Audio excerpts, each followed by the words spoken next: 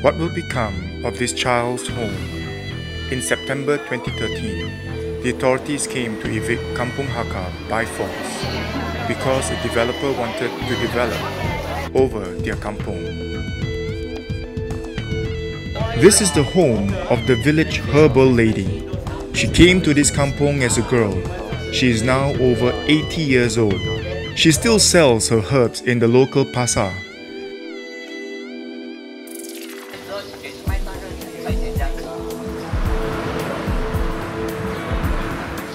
Years ago, there were seven sundry shops serving Kampung Hakka. Today, there are only two.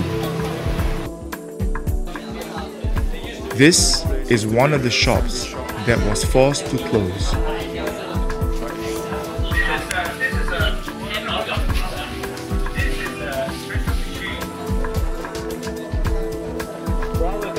The young people have left to seek their fortunes elsewhere. The well provides natural mineral water for the home, while the air well keeps the home cool.